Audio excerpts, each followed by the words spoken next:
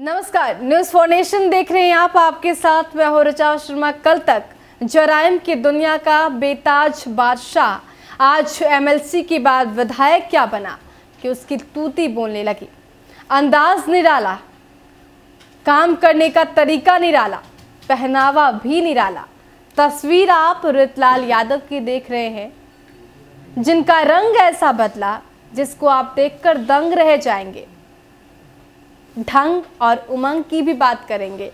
वो इसलिए क्योंकि रितलाल यादव जैसे ही विधायक चुने गए, हालाँकि उनके समर्थकों में खुशी की लहर थी, लेकिन उसके बाद रितलाल यादव का अलग अंदाज भी देखने को मिल रहा है। एक नहीं, दो नहीं, तीन नहीं, लगातार हर इलाकों में वो जा रहे हैं, जनता से मिल रहे हैं। उनके दिल जीतने की कोशिश कर रहे हैं। इसी कड़ी में अपने ही क्षेत्र में वो पहुँचे औचक निरीक्षण करने।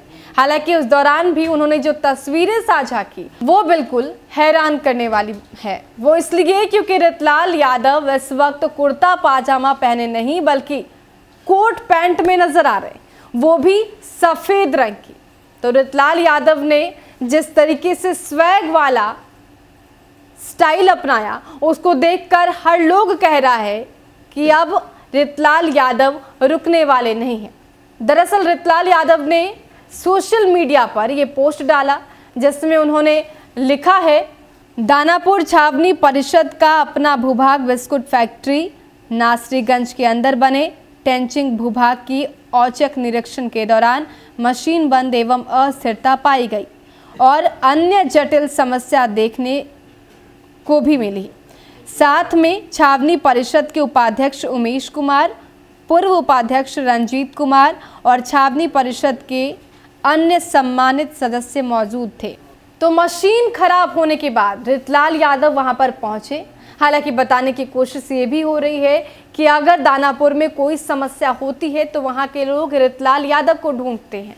वो इसलिए क्योंकि रतलाल यादव इतने एक्टिव है अपने क्षेत्र को लेकर, अपने क्षेत्र को, के विकास को लेकर कि अब जनता उन पर भरोसा करने लगी। और ऐसा हम इसलिए भी कह रहे हैं क्योंकि अगर जनता भरोसा नहीं करती तो एमएलसी के बाद रितलाल यादव को विधायक नहीं चुनती। वहाँ से आशा सिन्हा चुनावी रण में थी बीजेपी की तरफ़ से, जो कि पिछले बार चुनाव जीत चुकी थी। उनको रितलाल यादव ने करारी मात दी है। रितलाल यादव पहले ही ऐलान कर चुके थे कि अगर उन्हें टिकट नहीं मिलता है तो निर्दलीय चुनावी मैदान में उतरेंगे। तब भी रतलाल यादव का स्वैग वाला अंदाज देखने को मिला था। जब उन्हें, उन्होंने खुले तौर पर यह ऐलान किया था कि टिकट नहीं मिला तो क्या? मैदान में उतरूँगा और जीतूँगा भी। रतलाल यादव का वो बयान भी सबको याद होगा। जब रतलाल यादव कहते हैं कि चाहे मेरे सामने बीजेपी ही क्यों ना हो, टक्कर देने के लिए मैं काफ़ी हूँ, जिसके बाद से आरजेडी उन पर भरोसा करती है। रतलाल यादव को ये पता होता है कि जनता उनके साथ है। भले ही वो जराइम की दुनिया से आए हों, लेकिन फिर भी उनके काम के बलबूते जनता उन पर भरोसा करेगी। यही वजह रही कि रितलाल यादव ने किस्मत आजमाई और कहीं ना कहीं जनता ने भी उनका साथ दिया। एमएलसी के बाद अब विधायक चुने गए और इसके बाद अपने ज़िम्मेदारी को बखूबी समझते हुए जनता के बीच जा रहे हैं। कहीं भी समस्या होती है तो वहाँ पर रितलाल यादव पहुँचते हैं, क्योंकि इससे पहले मोकामा की तस्वीर हमने आपको दिखाई, इससे पहले खुसरूपुर की तस्वीर हमने आपको दिखाई, जहाँ पर रितलाल यादव जो हैं वो पहुँचे थे।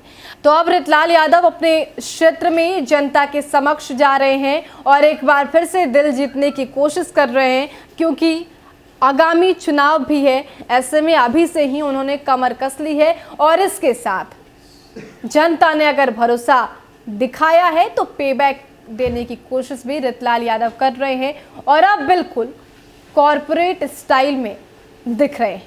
फ़िलहाल के लिए इतना ही। बने रहे हमारे साथ और देखते रहे न्यूज़ फॉर्नेशन नमस्कार।